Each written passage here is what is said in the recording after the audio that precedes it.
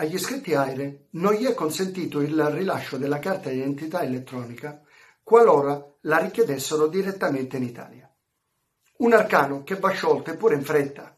Peraltro, le sedi consolari potrebbero utilizzare il tempo dedicato a questo servizio per il disbrigo di altre pratiche.